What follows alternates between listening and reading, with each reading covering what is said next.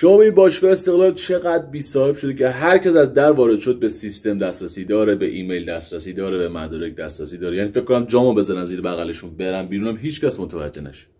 حالا قصه از چه قراره؟ باشگاه استقلال امروز محکوم شد به یه قرامت خیلی سنگین به آمانوف. آقای سمیعی امروز در این خصوصی مصاحبه کردن که خیلی خیلی جالبه. میگه وقتی آمانوف تمرینات رو ترک کرد و از کشور خارج شد ما رفتیم با مدیریت وقت. حالا یه سری میگن آقای آجرلو بوده ظاهرا. صحبت کردن گفتن آقا ایشون notice همون اخطاری. چیزی ایمیلی چیزی نفرستاده. اونها میگن نه اصلا ابدا. میگن این بنده خدا فقط اومد پاسپورت رو گرفت و رفت. نه notice اخطار. هیچ. باشگاه استقلال هم به خاطر اینکه این بازیکن اصلا ترک کرده تمرینات رو بدون اجازه خارج شده از کشور شکایت می‌کنه از آمانوف.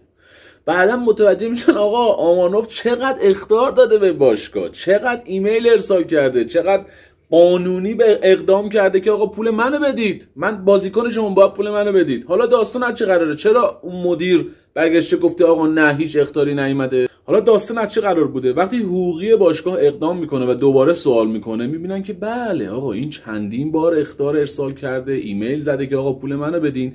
کارمند داخل باشگاه ایمیل ها رو پاک کرده بدون اجازه. حالا از کی دستور می‌گرفته؟ الله علم ما یه موقعی چند وقت پیش می‌گفتیم آقا وزارت ورزش یه سری رو واقعا عمدن آورده داخل باشگاه از ریشه باشگاه استقلال بزنه. همه ما میخندیدن.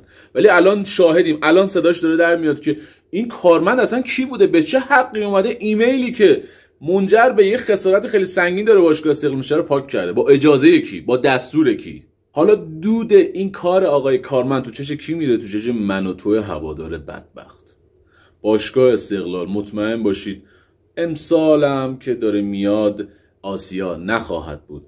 در آینده خواهیم شنید که به خاطر بدهی استقلال به آمانوف استقلال از آسیا حذف شد.